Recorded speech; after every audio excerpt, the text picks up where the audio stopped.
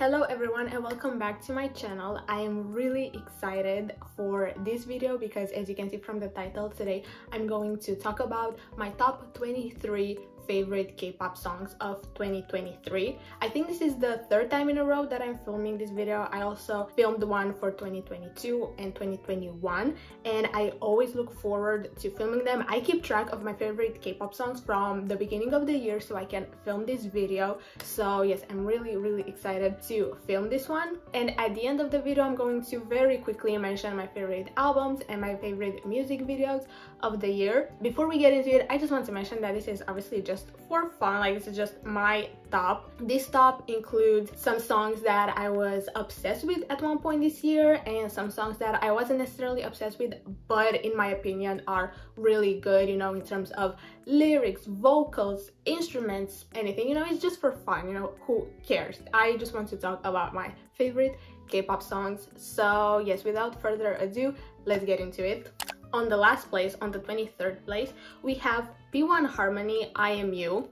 I'm not a huge fan of P1 Harmony, though I do listen to their music from time to time. And this is a B-side, this is not a title track, but I really, really liked it. And I really like Keeho's voice in this song. So on the 22nd place, we have WayV's Poppin' Love.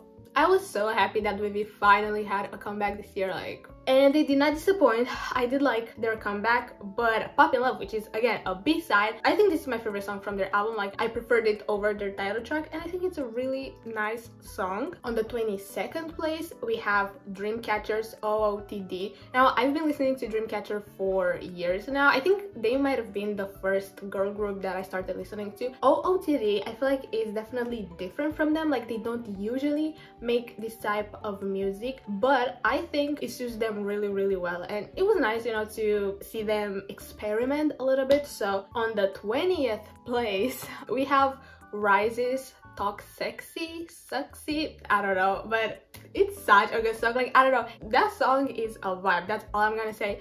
The chorus is so catchy. On the 19th place we have Jooheon's freedom i love MONSTA X i love Jooheon and i was just so happy when he had um, a little solo album before he enlisted unfortunately i thought freedom was just the best out of all of them it's a song that describes Jooheon really really well it just shows all of his skills as an artist, which I love. On the 18th place, we have NCT U's Coldy. Now, I will say since 2020, every time NCT have a comeback, like all of them, it doesn't really feel like a big thing. Like it felt like a huge thing in 2020, but ever since then, like I listened to the album a couple of times and then I forget about it. But it might also be because the company doesn't make a big thing out of it anymore. I don't know but Coldy is my favorite song on the album. It's just a vibe, you know, it's Taeyong, it's Ten, it's really good, you know, like what can I say? On the 17th place, we have a song that has been really popular this whole year that everyone knows and you know I couldn't not put it in my top because it is a really good song and I also liked it a lot and that is 50/50's Cupid. Honestly I don't know what to say about it other than it's really good and 50/50 had an amazing year though apparently from what I read on Twitter things are not going too well for them right now. I have no idea, but Cupid is a good song, like generally one of the best songs of the year. So it is in my top two, even though this is literally the only song from 50/50 that I know. On the 16th place, we have none other than Mr. Kai, Mr. Kim Jong-in, we have Mr. Rover. This band just dropped one of the best songs of the year and then dipped into the military, unfortunately, but Mr. Rover is really good. Honestly, Kai never disappoints, so I'm not, you know, surprised that I have one of his songs songs in my top. On the 15th place, we have NCT Doja Perfume. The song is so nice and vibey. Jaehyun's part is low-key so good. And I think this unit of Doyoung, Jaehyun, and Jungwoo works really, really well. Also, the choreo I think is really nice.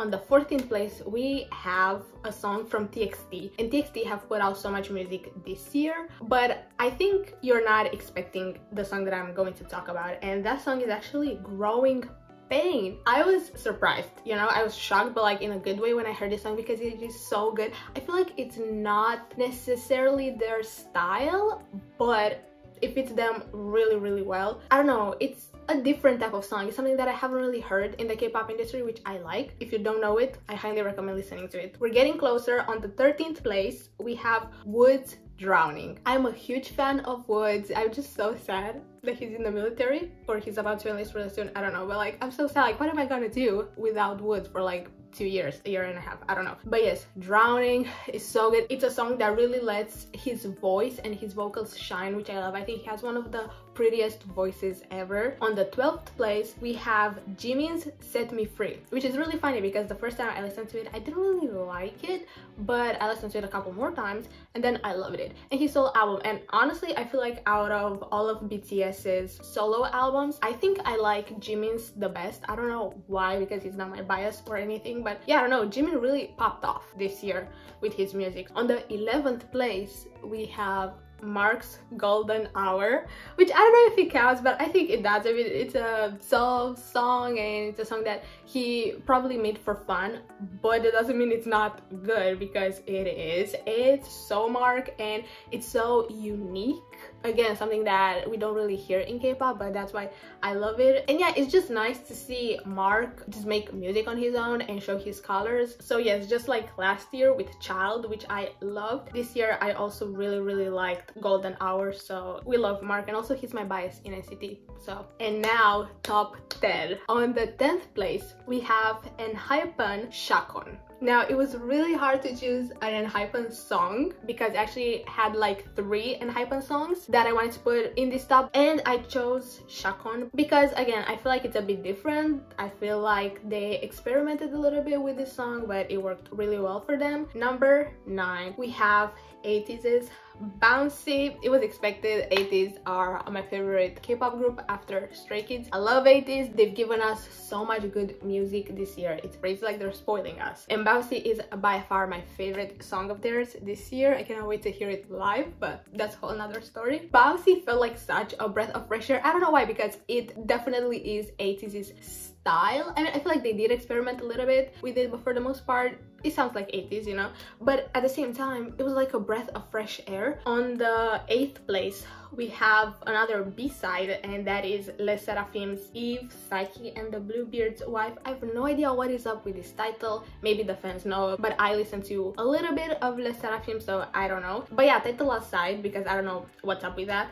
The song is so good. I sound a bit like a broken record when i say that it is a very different song again but i'm just realizing that a lot of songs this year or in this top are quite experimental for their artists in my opinion. But yeah eve psyche the bluebeard's wife is a song that i cannot compare with anything. It's really out there and different and i really like it's really addicting that's the thing. Like the first time i listened to it i was addicted. You know i don't know what they put in that song but it's really good and it just makes you want to listen to it over and over again. So good for them you know? Good for them. On the seventh place we have a song that i was obsessed with. Now that we're in top 10 we've reached the songs that i was obsessed with at one point in this year. And so on the seventh place we have treasure t5 which is their subunit move. This song is so good and if i'm not mistaken Jonghyun wrote it which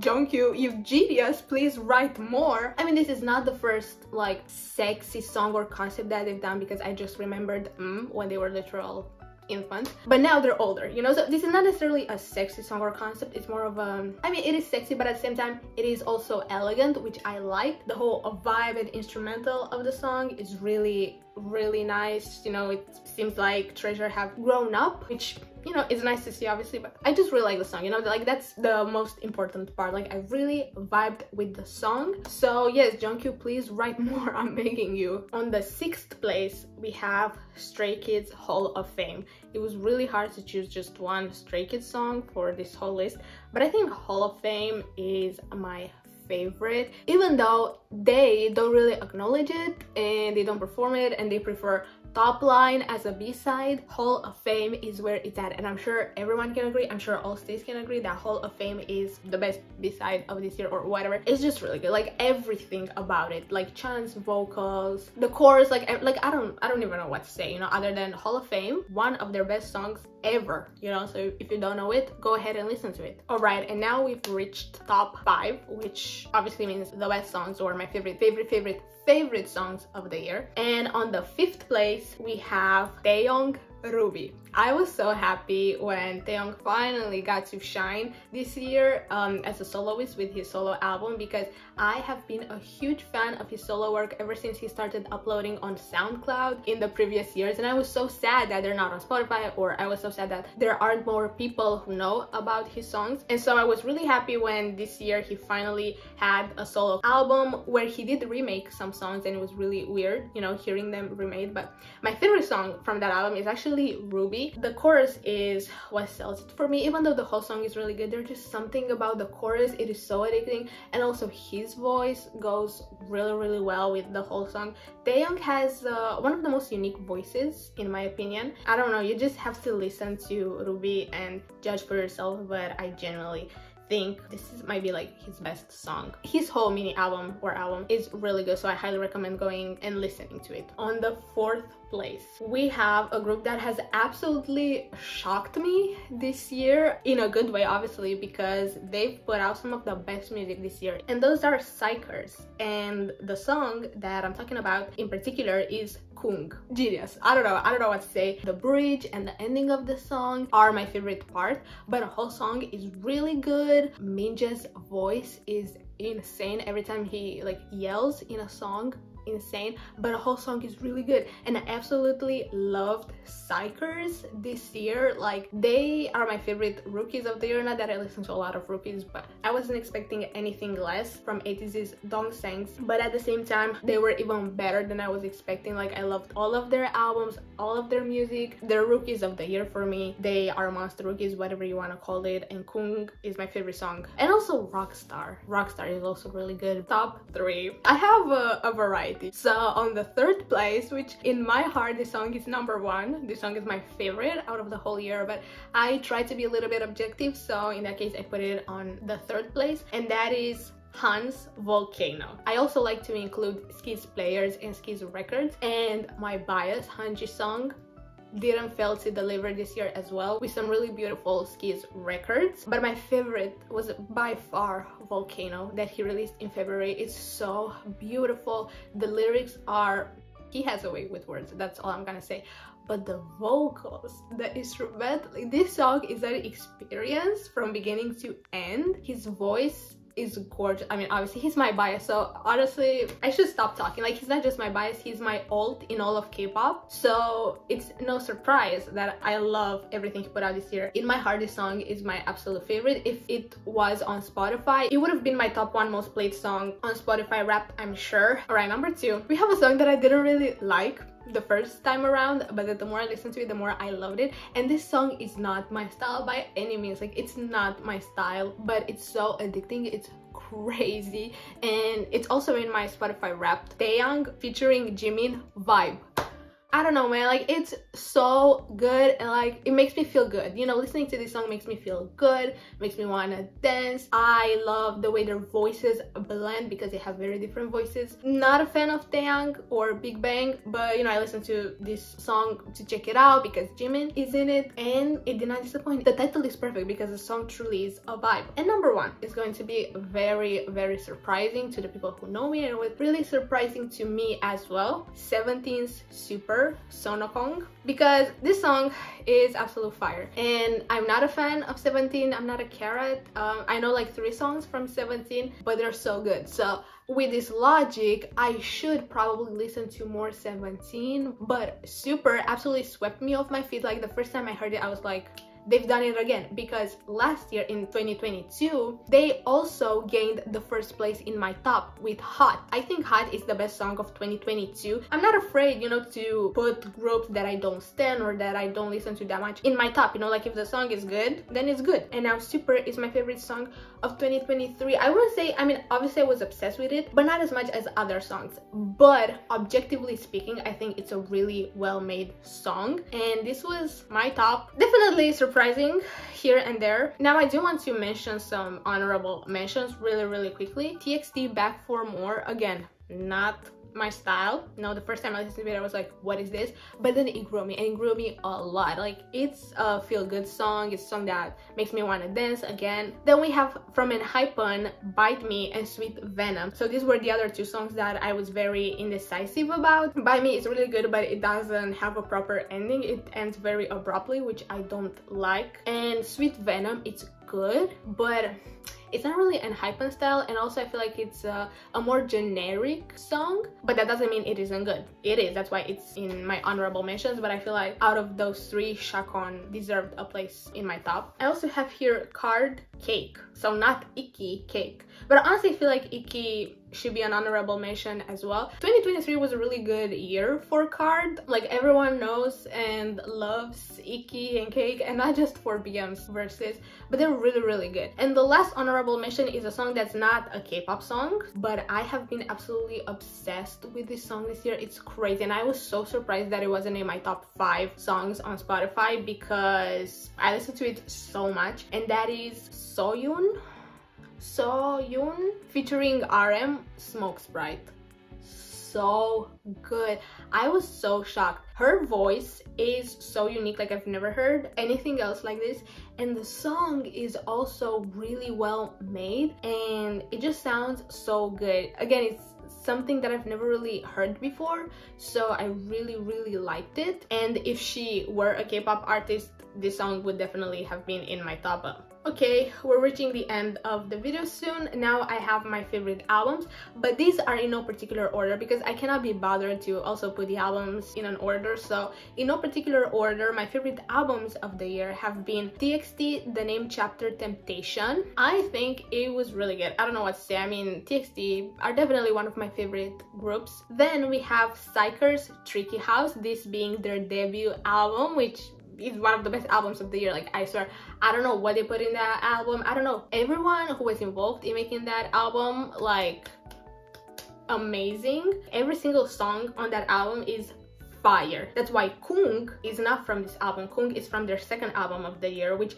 is also good but not as good as their debut album in my opinion. Their debut album was perfect. And so i couldn't choose you know a favorite song. Then we have stray kids five star. I know Stray Kids put out two albums this year, but music wise, songs wise, five star is so much better than Rockstar in my opinion because every single song on five star is fire like every single song and yeah i know i chose hall of fame as my favorite but hall of fame is like only one percent better than the rest of the songs on five star because five star in its entirety is incredible. And then i have both of the albums that ATEEZ put out this year because i tried my hardest to choose just one but i couldn't because both albums were really really strong. The world ep 2 outlaw and the world ep found wheel i don't know both of them are really good. Like the first one has bouncy has songs like Outlaw, Django, and then the second one has Crazy Form, but it also has the subunit songs, which is the first time ATEEZ have done anything like this. All of them, all four of them are really, really good. So I really couldn't choose. I really wanted to choose just one ATEEZ album, but I couldn't. So, and the last album that I loved this year was Xdinary Heroes Livelock live no Livelock right i absolutely adore Xdinary Heroes and every single year Xdinary Heroes put out some of the best music and this album was so good that i couldn't choose a favorite song maybe my favorite would be again again because it is pop punk and i adore pop punk. So yeah but the whole album is really really good and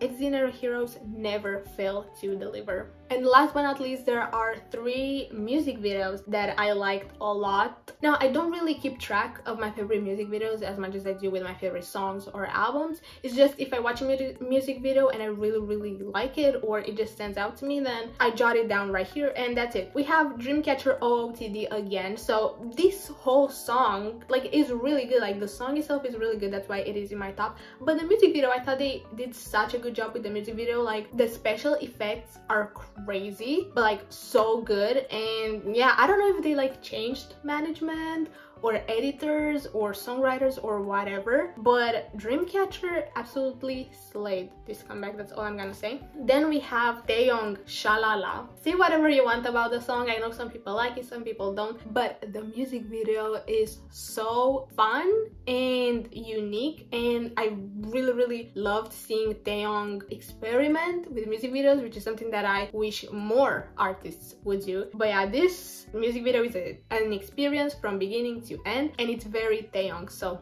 I loved it. And the last music video that I really really liked this year was (G)I-DLE's Queen Card. I do like the song as well. I mean, the song went literally viral this year. I do like the song, but I like the music video more. I think they did such an amazing job with the music video, with all of the 2000s references and the concept itself, the message. I thought it was really, really nice. So I have to give it up for (G)I-DLE with Queen Card. And that was it. These were my favorite K-pop songs, albums, music videos of 2023 again this top is just for fun like you know if you don't agree with my top that is completely fine. In fact i do want to know what your favorite k-pop songs or music videos or albums of the year were. But yeah i really hope you enjoyed watching this video. Don't worry there is going to be a january vlog as well. This video is obviously a bonus because i love making it every year. But yeah thank you so much for watching. Let me know down in the comments your picks or if you agree with my top. Subscribe to my channel if you you want to see more videos from me and I will see you next time. Bye!